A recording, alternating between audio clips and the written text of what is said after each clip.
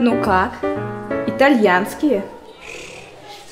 Красивый. Считается, что лучшая обувь сделана в Италии, потому что она похожа на сапог. Италия похожа на сказку.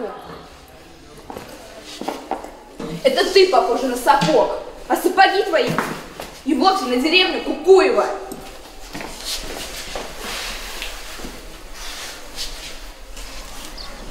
Нашла кого слушать, эту выпендрежницу Ингу. А ведь она права, но нет у мамы сейчас денег на новую обувь. Ты же знаешь, она в турфирме работает. А сейчас кризис. Людям не до путешествий. Вот они и не идут за путевками. Ой,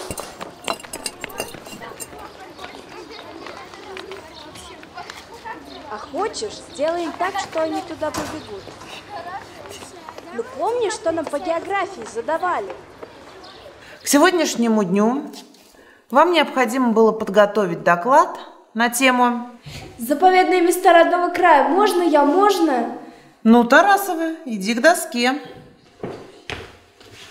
В нашей области есть удивительное место – заброшенная графская усадьба Татищевых. Но не только архитектурными красотами славится она. Немногие знают, что граф Татищев увлекался алхимией и изобрел философский камень. Результаты его опытов обладают магической силой. Вот, например, камень в виде монеты приносит богатство, а амулет в виде сердца – счастье и любовь. Ну, а ты сама-то там была? Конечно. Кстати, дикарем туда попасть не получится. В парк пускают только организованные группы. Я ездила через турфирму, в которой работает Олина мама.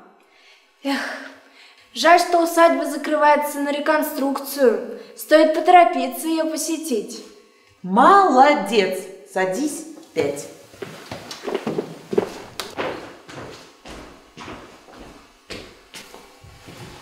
А что, реально работают эти амулеты? Конечно, вот мой талисман. Он влияет на интеллект и успех в учебе. Вот, пожалуйста, что я говорила? Да, да, конечно. Пожалуйста, Давайте Дайте-ка мне, пожалуйста, визиточку.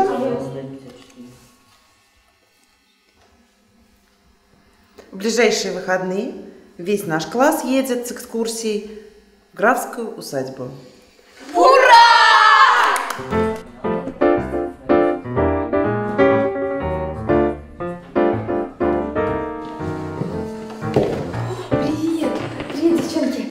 Спасибо большое. Маме за такое количество проданных путевок премию дали. Вот она мне сапоги купила. О, Инга, а почему тебя на экскурсии не было? Да это временные материальные трудности. У мамы бизнес буксует, кризис. А что за бизнес у мамы? Химчистка. Так, завтра лабораторная по химии? Так что фронт работ мы твоей маме обеспечим, да? Да. Смотри на меня и делай, как я.